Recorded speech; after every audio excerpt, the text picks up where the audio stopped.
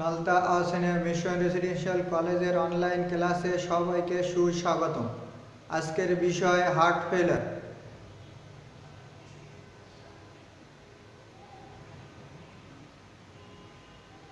এই করোনা পরিস্থিতিতে যারা বাসায় আছো, ভালো থাকো এবং বাসায় থেকে আমাদের ক্লাসগুলোকে ফলো করো, তাহলে এই বিষয়বস্তুগুলো স্পষ্টভাবে বোঝা যাবে। কারণ বইয়ে আছে, তাছাড়াও আমরা অতিরিক্তভাবে বিভিন্ন বইয়ের সমন্বয়ে এবং ইন্টারনেটের বিভিন্ন তথ্যের সমন্বয়ে আমাদের ক্লাসগুলো নিচ্ছি এবং ক্লাসগুলো থেকে অনেক উপকৃত হবে। আসসালামু আলাইকুম, আমি মোহাম্মদ ফিরোজ হায়দার, প্রভাষক, জীববিজ্ঞান, Nalta Ahsania Mission Residential College. এখানে আমার মোবাইল নম্বর দেওয়া আছে এই ফোন নম্বরে যদি কোনো সমস্যা হয়, ক্লাস বুঝতে সমস্যা হয়, কোনো বিষয়বস্তু বুঝতে সমস্যা হয়, তাহলে সরাসরি ফোন করে আমাদের কাছে এটা জানা যাবে। আজকে আমরা জীববিজ্ঞানের দ্বিতীয় পত্রের চতুর্থ অধ্যায়ে একটা রোগ নিয়ে আলোচনা করব। এই রোগটি কী রোগ আমরা এখন জেনে নিই। দেখেন, ছবিতে দেখা যাচ্ছে যে একটা মেয়ে তার একটা হাত দিয়ে একটা চিহ্ন দেখাচ্ছে। দেখেন তো, বুকে কি চিহ্ন দেখাচ্ছে? বুকের মাঝখানে দেখাচ্ছে এবং সে মনে হচ্ছে একটা হার্টের চিহ্ন দেখাচ্ছে। দেখি, ছবিতে আমরা আর একটা জিনিস দেখতেছি যে রাইট ভেন্টিকল লেফট ভেন্টিকল এটা নর্মাল হার্ট ঠিক তার বিপরীতে আর একটা হার্টের ছবি আছে এখানে। দেখেন enlargement of the heart muscle হার্টের মাসেলগুলোকে লেফট ভেন্টিকলের এই মাসেলগুলোকে পাশে রাশিগুলো দেখেন অনেক বড় হয়ে গেছে। স্বাভাবিকভাবে লেফট ভেন্টিকুলার রাশি একটু পুরু থাকে, কিন্তু এখানে অতিরিক্ত পুরু হয়ে গেছে। অতিরিক্ত পুরু হয়ে যাওয়ায় হার্টের কাজের কার্যক্ষমতা একটু কমে যাচ্ছে। তো এইভাবে যদি হাড়ের কার্যক্ষমতা কমতে থাকে, তাহলে আমরা একটা রোগকে নির্দেশ করি। দেখি আর একটা ছবি দেখি। এখানে দেখেন হাড়ের এই বিষয়টা মাসেলটা এত বেশি ফুলে উঠেছে বা এত বেশি এনলার্জমেন্ট হয়েছে যে এখানে চেম্বারটা দেখেন ভেন্ট্রিকলটা একদম ছোট হয়ে গেছে। তার অর্থ এইরকম যে ভেন্ট্রিকলের স্বাভাবিক কাজটা সে করতে পারতেছে না। স্বাভাবিক কাজটা না করতে পারলে হার্টের যে সমস্যাটা হচ্ছে সেটা আমরা বলতেছি, কি সমস্যা বলতেছি দেখি তো।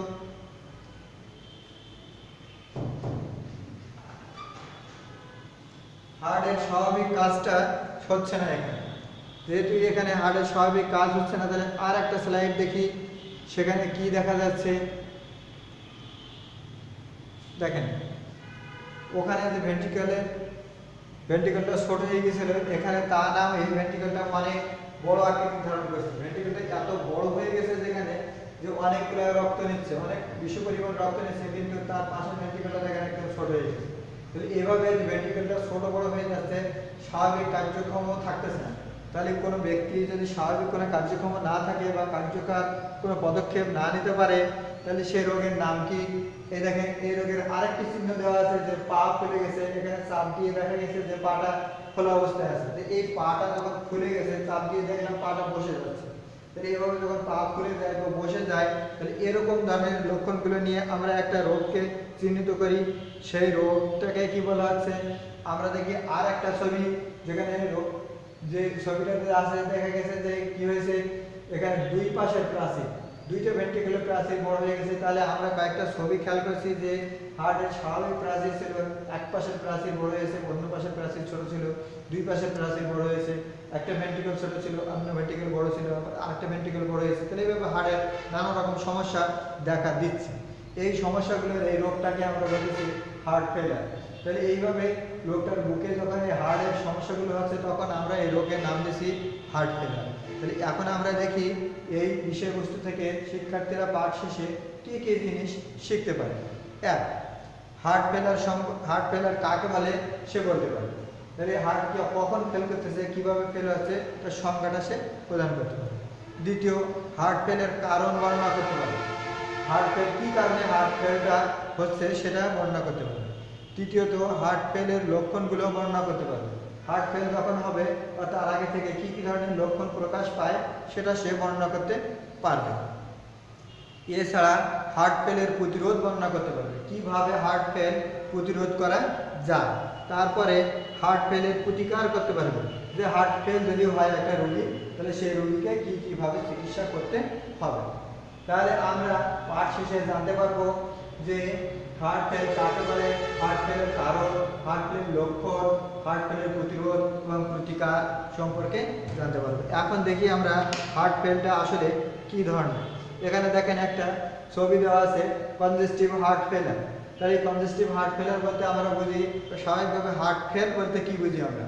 যদি কোনো বিষয় দেখি আমরা যে স্বাভাবিক যে ব্যক্তির বা যে অর্গানটার স্বাভাবিক কার্যক্ষমতা হারিয়ে সে অস্বাভাবিক পরিস্থিতি সৃষ্টি হয়েছে অথবা স্বাভাবিক কাজটা সে করতে পারতেছে না, তখন আমরা ফেলুয়ার হিসেবে তাকে চিহ্নিত করি। ঠিক আমাদের হার্ট হৃৎপিণ্ড এক একবার তিরিশ মিলিলিটার রক্ত নেবে এবং তিরিশ মিলিলিটার রক্ত ছাড়বে। এই রক্ত নেওয়া এবং ছাড়ার সময় বা ত্যাগ করার সময় সে যদি তার চেয়ে কম রক্ত নেয় বা বেশি রক্ত নেয়, তাহলে এই রক্তগুলো কম যাওয়ার কারণে কিডনিতে চাপ পড়বে বা শরীরের অন্য অন্য অংশগুলো অক্সিজেন সঠিকভাবে বা খাদ্যরা স্বাভাবিকভাবে পৌঁছাতে পারবে না। এই প্রক্রিয়াকে আমরা হার্ট ফেল বলতেছি। আর হার্ট ফেল যখন হবে, তখন দেখা যাচ্ছে যে হার্টের এখানে একটা ওয়াইডিমা একটা রোগের নাম লেখা আছে, দেখেন এখানে নিচে এই ওয়াইডিমাটা হবে। তাহলে হার্ট স্বাভাবিকভাবে কার্যক্ষমতা হারিয়ে যখন পাম্পিং কাজটা সে সঠিকভাবে করতে পারবে না, তখন তাকে আমরা কি বলব? হার্ট ফেল বলব। আচ্ছা এই হার্ট ফেলের আর একটা ছবি আমরা দেখি এখানে। দেখেন হার্ট ফেলের যে নর্মাল হার্ট আর স্বাভাবিক হার্ট এখানে oxygen rich blood is pump to the body এই লেফট ভেন্ট্রিকল থেকে অক্সিজেন যুক্ত রক্ত সারা দেহে পৌঁছাচ্ছে, এই আউটার মাধ্যমে।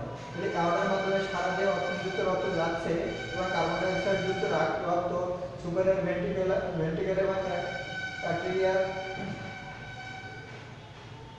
ধমনী দ্বারা রক্ত ডান বা রাইট অ্যাট্রিয়াম আসতেছে। রাইট অ্যাট্রিয়াম থেকে রক্ত যাচ্ছে রাইট ভেন্ট্রিকল রাইট ভেন্ট্রিকল থেকে ফুসফুসে, ফুসফুস থেকে আবার রক্ত ফিরে আসতেছে লেফট অ্যাট্রিয়াম লেফট অ্যাট্রিয়াম থেকে লেফট ভেন্ট্রিকল লেফট ভেন্ট্রিকল থেকে সারা দেহে ওটার মাধ্যমে রক্ত পৌঁছে দিচ্ছে। এখন সারা দেহ থেকে হৃৎপিণ্ড যদি রক্ত সঠিকভাবে নিতে না পারে বা সঠিকভাবে পৌঁছাতে না পারে, তাহলে দেহের অন্যান্য অঙ্গগুলো সঠিকভাবে কাজ করতে পারবে না। তাহলে এইভাবে যখন অন্যান্য অঙ্গগুলো সঠিকভাবে কাজ করতে পারবে না রিডিউসড ভলিউম তাহলে রিডিউসড ভলিউম বলতে বুঝাচ্ছে আমরা এখানে অল্প পরিমাণে রক্ত, অল্প পরিমাণে রক্ত সে নিচ্ছে। তাহলে অল্প পরিমাণে রক্ত নিচ্ছে বা অল্প পরিমাণে রক্ত দিচ্ছে, তাহলে সে স্বাভাবিক কার্যক্ষমতা হারাচ্ছে। এভাবে স্বাভাবিক কার্যক্ষমতা যখন হারাতে থাকে, তখন পর্যায়ক্রমিক নানা রকম হৃদরোগ হয়। আর এই রোগটাকে আমরা বলতেছি হার্ট ফেলার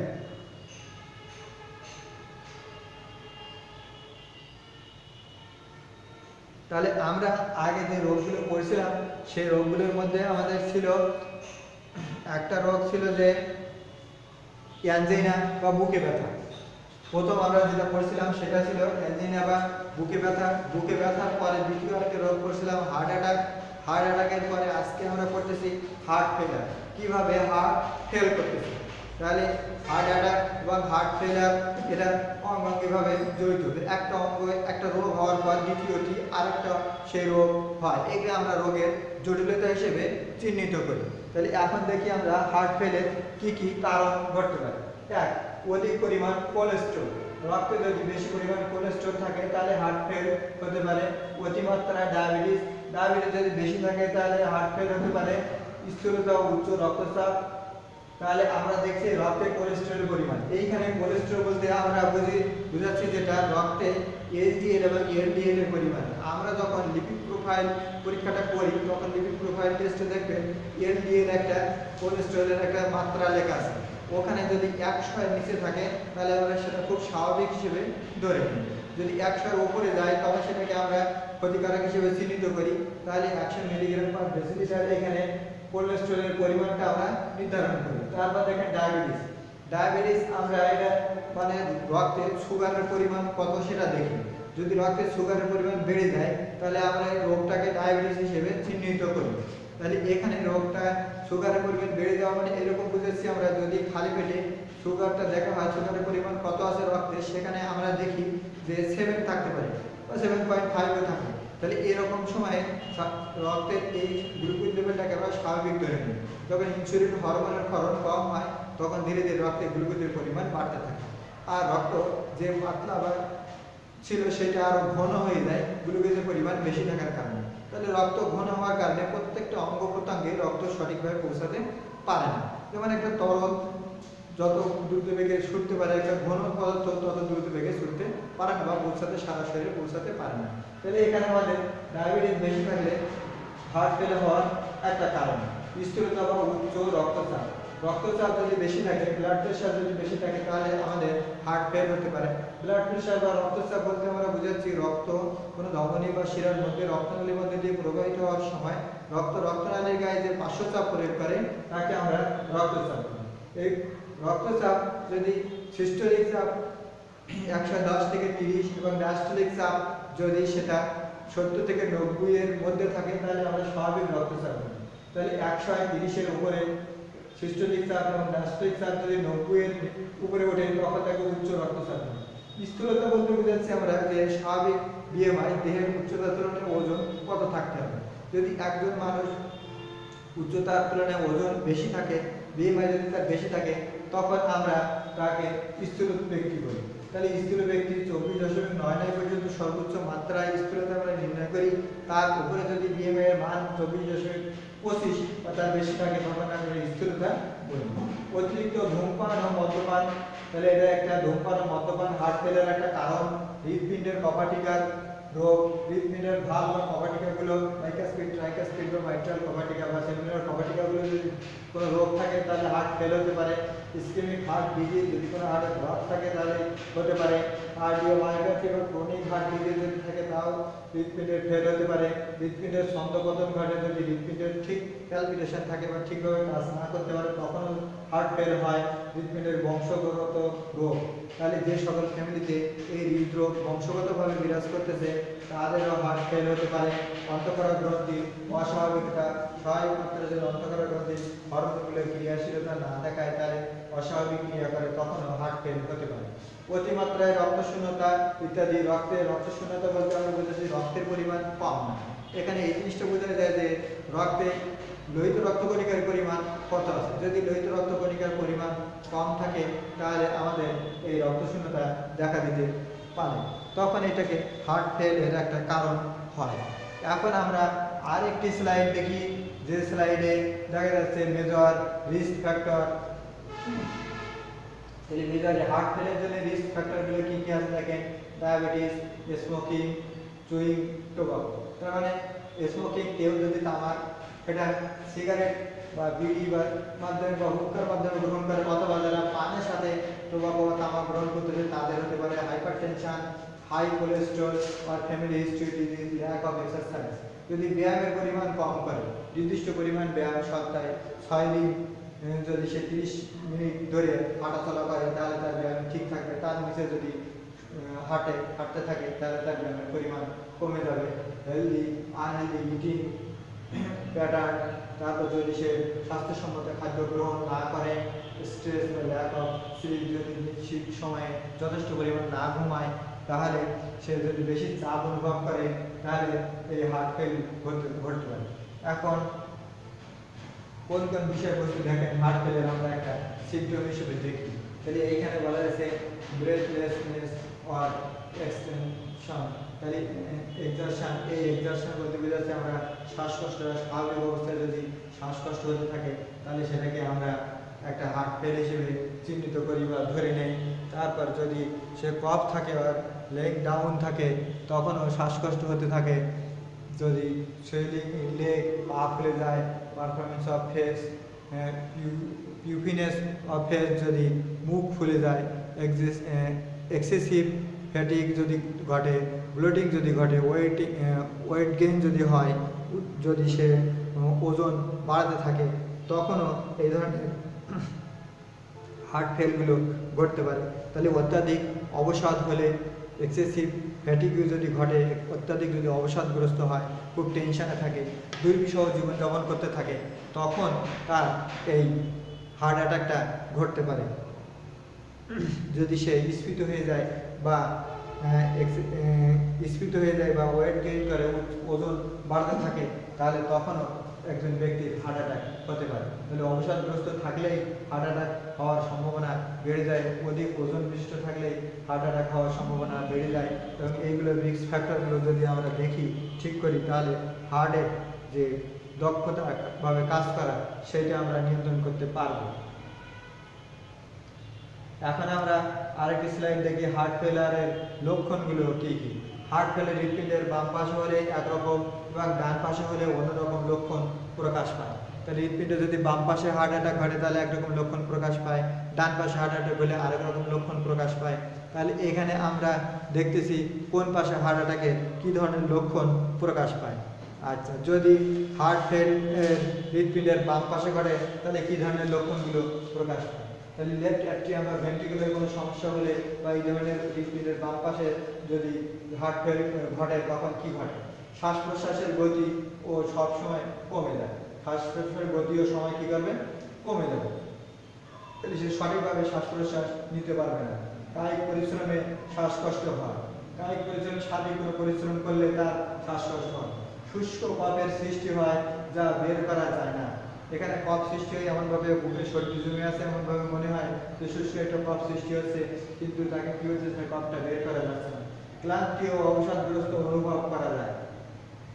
যদি সে সমস্ত কাজেই ক্লান্ত হয়ে যায়, স্বাভাবিকভাবে একটা হার্ট চলা করছে, তবুও ক্লান্ত হয়ে যায়, তখন সেটাকে একটা হার্ট ফেলার লক্ষণ হিসেবে আমরা ধরে নিই।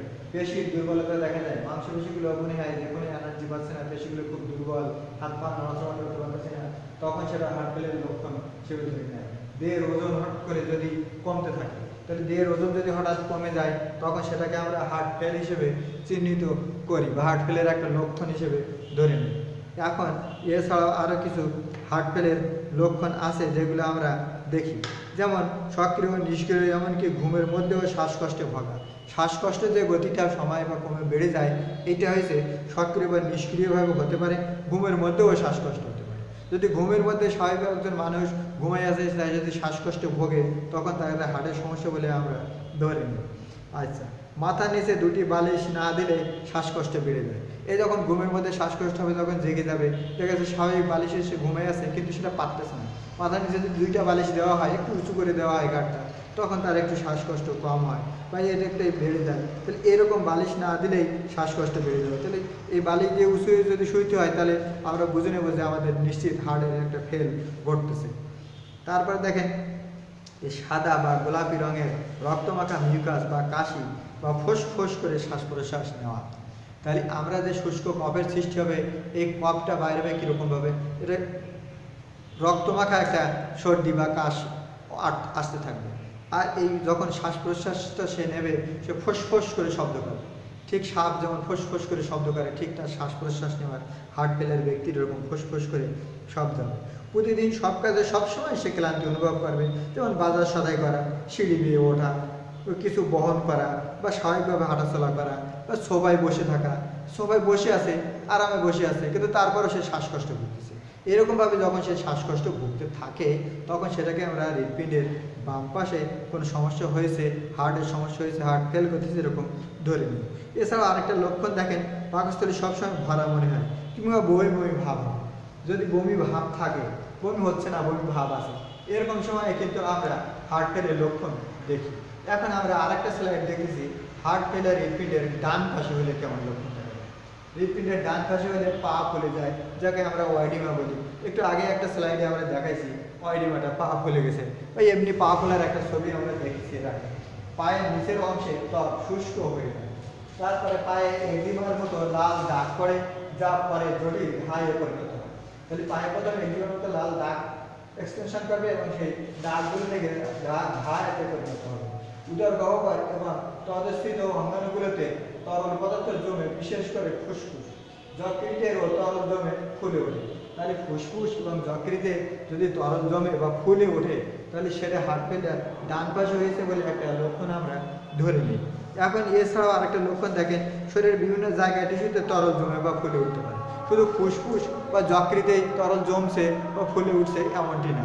এটা হৃৎপিণ্ড বা ফুসফুসের অন্য যে কোনো অঙ্গেও তরল জমে যেতে পারে।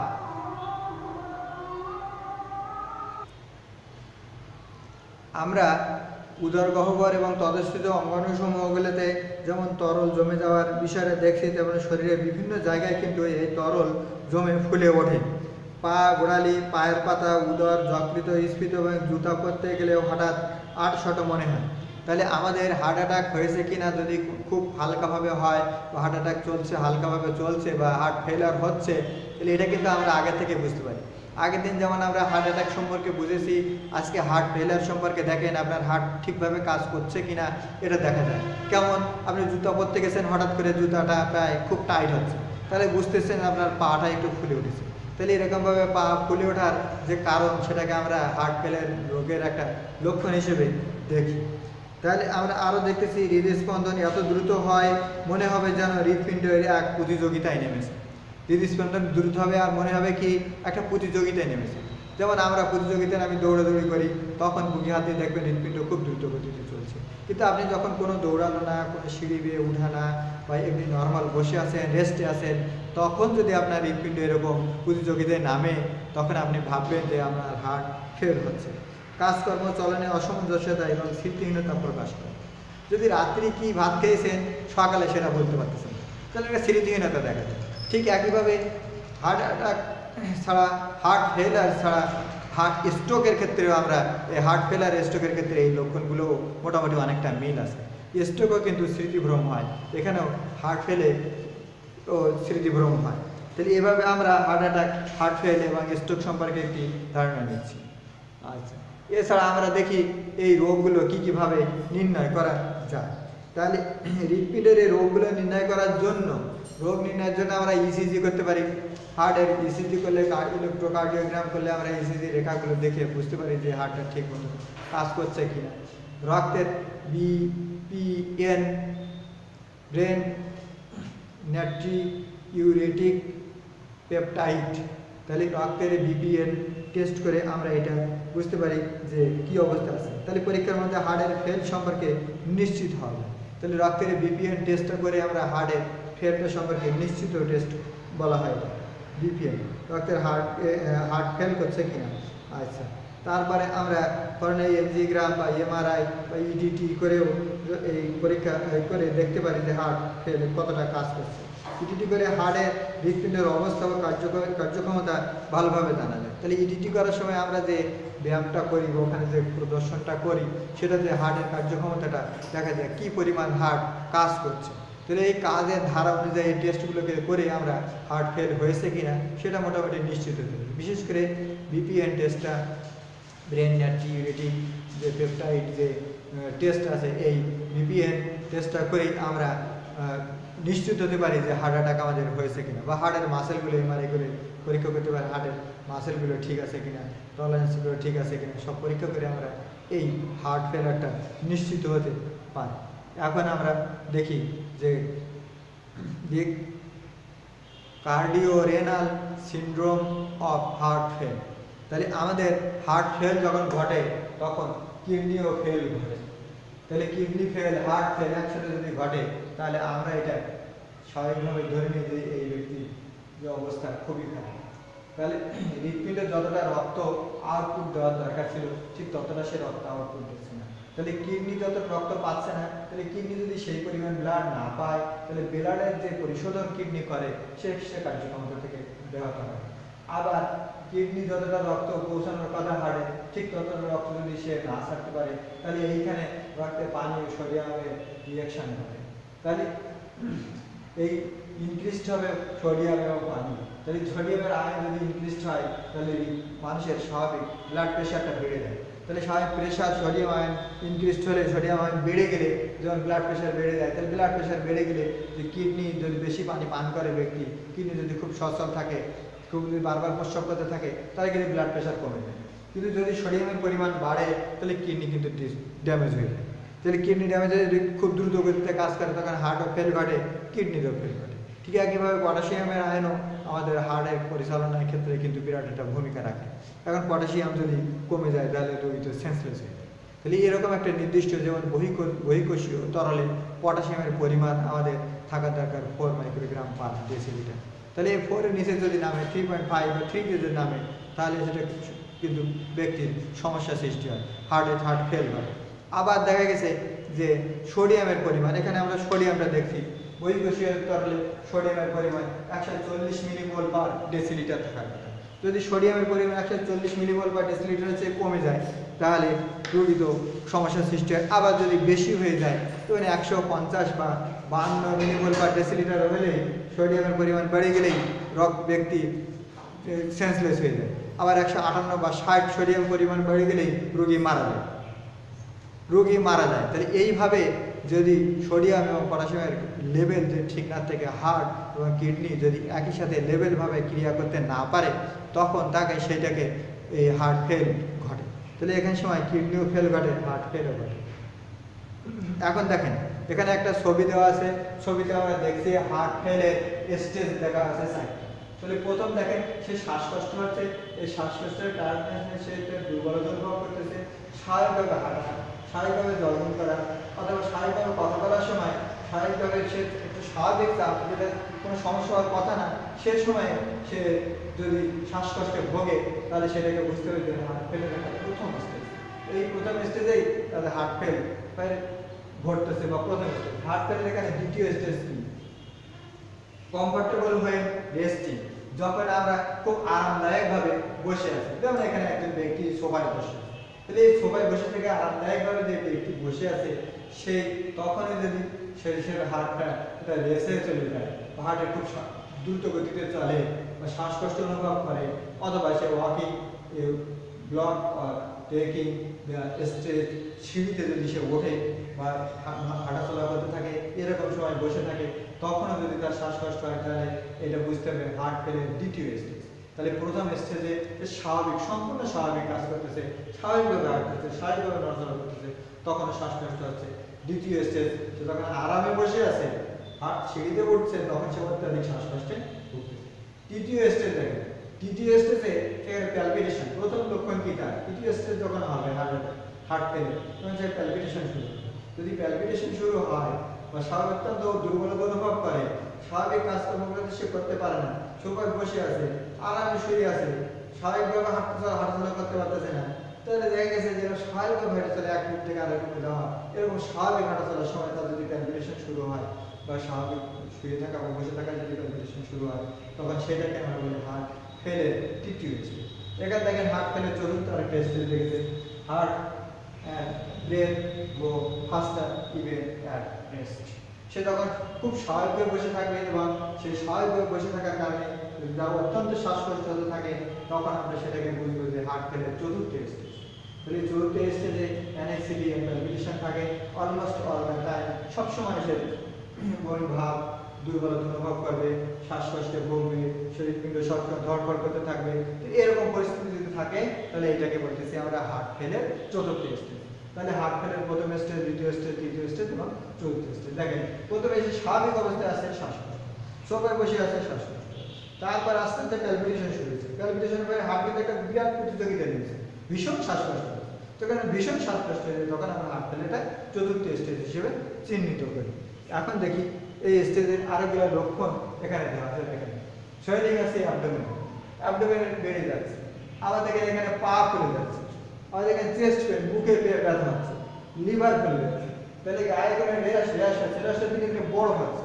তাহলে এইভাবে ফুলে ওঠে আবার কোনো অঙ্গের যখন এরকম সমস্যাগুলো হতে থাকে, তখন আমরা এটা হার্ট ফেল হিসেবে কিন্তু ধরে নিই। এগুলো মেজর মেজর সিমটম তাহলে যদি প্রাকৃতিকভাবে এই, স্বাভাবিকভাবে এই সিমটমগুলো আমরা নর্মালি দেখি এবং বেশি হতে থাকে সিমটমগুলো তখন আমরা এটাকে ধরে নিই কিন্তু হার্ট ফেল একেবারে নিশ্চিত হয়ে গেছে। আচ্ছা তাহলে হার্ট ফেলে আক্রান্ত কারা হতে পারে? বলেন তো তো কারা হতে পারে? যাদের বয়স চল্লিশ বছর বা ষাট বছর, চল্লিশ বা ষাট বছর উপরে যাদের বয়স, তারা আক্রান্ত হতে পারে। যারা ধূমপায়ী মদ্যপায়ী তারা হতে পারে। যাদের অনিয়ন্ত্রিত ডায়াবেটিস আছে, তারা হতে পারে। যাদের উচ্চ রক্তচাপ আছে, তারা হতে পারে। যাদের রক্তে কোলেস্ট্রল সবসময় বেশি আছে, তারা হতে পারে। যারা কায়িক পরিশ্রম করে না অফিস আদালতে থাকে, নানা রকম ছোটখাটো কাজগুলো করতেছে, বসে বসে কাজ করতেছে। তাহলে এই সকল ব্যক্তিদের ব্যায়ামের ঘাটতি ঘটে এবং এদের হার্ট ফেল সম্ভাবনা সবচেয়ে বেশি থাকে। বা আক্রান্ত হার্ট ফেলের রোগে আক্রান্ত হয়। হার্ট ফেলের প্রতিকার। হার্ট ফেল হলে আমরা কি করতে পারি? হার্ট ফেলে আক্রান্ত রোগীদেরকে সাধারণত তিন ধরনের চিকিৎসার মাধ্যমে সুস্থ রাখা হয়। এক, জীবনযাপন পদ্ধতির পরিবর্তন। দুই, ঔষধ গ্রহণ। তিন, অন্যান্য চিকিৎসা। তাহলে এক, জীবনযাপন পদ্ধতির পরিবর্তনটা কেমন? জীবনযাপন পদ্ধতির পরিবর্তন করতে হবে আমাদের এইভাবে স্বাস্থ্যসম্মত আহার খেতে হবে। যেন রুগীদের প্রধান অবলম্বন সে থাকতে হবে, খুব সুন্দরভাবে সে জীবনযাপন করবে।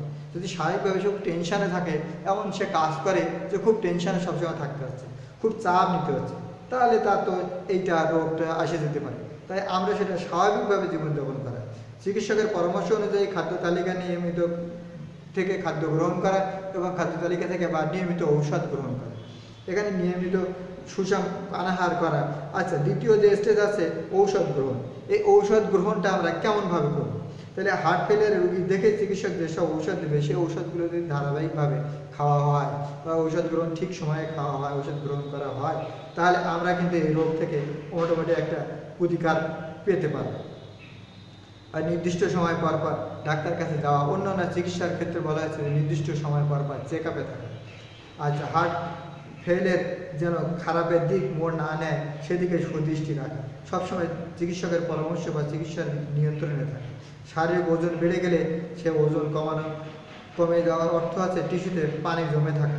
তাহলে যদি শরীরের ওজন বাড়ছে টিস্যুতে পানি জমে যাচ্ছে, তাহলে টিস্যুতে যদি এরকম পানি জমে যায়, তাহলে সেই রোগকে বলা হয়েছে ওয়াইডিমা তাহলে এই ওয়াইডিমা যদি দেখা দিতে থাকে, তাহলে এর প্রতিকারের ব্যবস্থা আমাদের করতে হবে, কীভাবে টিস্যু থেকে পানিগুলো অপসারণ করা যায়, চিকিৎসককে বলতে হবে কখন ওজন পরীক্ষা করাতে হবে, এবং ওজন পরিবর্তন সম্পর্কে কখন তাকে রিপোর্ট দিতে হবে, সবসময় এটা চিকিৎসকের তত্ত্বাবধানে থাকতে হবে।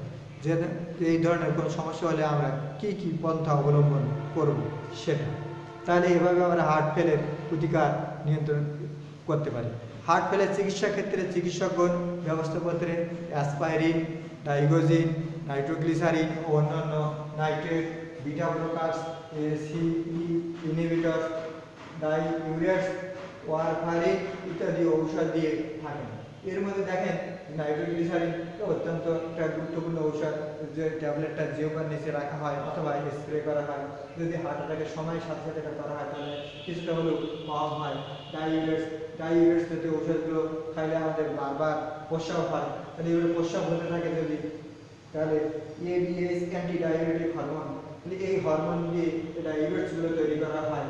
এই যদি এই ধরনের ওষুধগুলো খাইতে থাকলে আমরা, আমাদের কী হবে হার্ট অ্যাটাকের এ থেকে রক্ষা পাওয়া যাবে বা হার্ট অ্যাটাক যদি হয়ে থাকে হার্ট ফেল যদি হয়ে থাকে, তাহলে সেটা থেকে নিয়ন্ত্রণ করা যাবে। প্রয়োজনে চিকিৎসকগণ বাইপাস সার্জারি কিংবা ভাল্ব প্রতিস্থাপনের পরামর্শ দিয়ে থাকে তাহলে যদি আমাদের ভাল্বের কোনো সমস্যা হয় হার্টে তাহলে সেটা পরিবর্তন করে হার্ট ফেল থেকে আমরা রক্ষা পেতে পারি বা হার্ট ফেলের প্রতিকার করতে পারি। এছাড়া দেখেন আমরা এই নাইট্রোগ্লিসারিন ট্যাবলেটটা বা স্প্রেটা যদি রাখি হার্ট অ্যাটাকের ক্ষেত্রে ওটা কিন্তু কোনো একটা ঔষধ, ঔষধটা জিহ্বার নিচে রাখতে বা স্প্রে করলে হার্ট অ্যাটাকও রক্ষা পাওয়া যায়, আবার হার্ট ফেল থেকেও রক্ষা পাওয়া যায়। তাহলে প্রয়োজন সবসময় আমাদের ডাক্তারের পরামর্শে থাকা। তাহলে এটা আমরা নিয়ন্ত্রণ করতে পারব। বাড়ির কাজ অ্যাসাইনমেন্ট হার্ট ফেলারের কারণ, লক্ষণ ও প্রতিকার নিয়ে একটি অ্যাসাইনমেন্ট তৈরি করব এবং আমার প্রতিবেশী যারা আছে, প্রতিবেশীদের হার্ট ফেল সম্পর্কে অবহিত করব। অবহিত করেই তাদের জানাব যে হার্ট ফেল এরকম একটা রোগ, তার থেকে আমরা বাঁচতে পারব এইভাবে। এই ধরনের কোনো লক্ষণ দেখা দিলে আমরা সরাসরি ডাক্তারের পরামর্শ নিয়ে হার্ট ফেল থেকে রক্ষা পাবো বা মৃত্যু, অকাল মৃত্যুর হাত থেকে আমরা রক্ষা পাবো। এই হার্ট ফেলের এই বিষয়গুলো পড়ার জন্য আমাদের সহায়ক গ্রন্থগুলি আজমাল হোসেন স্যার, আব্দুল আলিম স্যার বা আশরাফুদ্দিন স্যার বা ইন্টারনেটের বিভিন্ন তথ্য থেকে আমরা এগুলো পড়তে পারি। এছাড়া আমরা আগামী ক্লাসে পড়ব যে উচ্চ রক্তচাপ। দেখেন একজন ডাক্তার, সে রুগীর রক্তচাপ মাপতেছে তাহলে আগামী ক্লাসে আমরা হাই ব্লাড প্রেশার বা হাইপার টেনশন বা উচ্চ রক্তচাপ সম্পর্কে আলোচনা করব। হার্ট সুস্থ রাখায় সুস্থ জীবন, তাহলে কম চর্বিযুক্ত খাবার খাব আমরা। শাক সবজি ও বিভিন্ন ফল বেশি খাব। মৌসুমি যে ফলগুলো আছে সেগুলো বেশি খাব। খাদ্যে পরিমিত লবণ খাবেন, কাঁচা লবণ পরিহার করুন। প্রক্রিয়াজাত ও টিনজাত খাদ্য এড়িয়ে চলুন। কারণ এই প্রক্রিয়াজাত বা টিনজাত খাদ্যগুলো বিভিন্ন প্রিজারভেটিভ দেওয়া থাকে, সেই জন্য এগুলো থেকে আমাদের এড়িয়ে চলতে হবে। নিয়মিত ব্যায়াম করব, শরীরের ওজন নিয়ন্ত্রণে রাখব। ধূমপান ও সকল ধরনের তামাক দ্রব্য বর্জন করব। সাথে সাথে আমরা আরেকটা কাজ বর্জন করব যে মদ্যপান থেকে উচ্চ রক্তচাপ, রক্তের চর্বি ও গ্লুকোজের মাত্রা নিয়ন্ত্রণে রাখব। তাহলে আমাদের হৃদরোগ প্রতিরোধ করুন, সুস্থ থাকুন, স্বাস্থ্য শিক্ষা ব্যুরো স্বাস্থ্য অধিদপ্তর থেকে স্বাস্থ্য পরিবার পরিবার কল্যাণ মন্ত্রণালয় থেকে এরকম একটা চার্ট ও ছবি আপনাদেরকে প্রকাশ করছে। তাহলে আমরা এই বিষয়গুলো খেয়াল রেখে সুস্থ থাকব, সুস্থ জীবন গড়ব, সুস্থ হার্ট থাকবে আমাদের। জীবনে বড় হও, কিন্তু কাউকে ছোট করে নয়। জীবনে হাসো, কিন্তু কাউকে কাঁদিয়ে নয়। জীবনে জয় করো, কিন্তু কাউকে ঠকিয়ে নয়। জীবনে সুখী হও, তবে কাউকে কষ্ট দিয়ে নয়। তাহলে এই কাজগুলো আমরা একটু খেয়াল রাখব। এছাড়াও সকলকে ধন্যবাদ জানাচ্ছি। ভালো থাকো, সুন্দর থাকো। আল্লাহ হাফেজ। আগামী ক্লাসে আবার দেখা হবে, ইনশাআল্লাহ।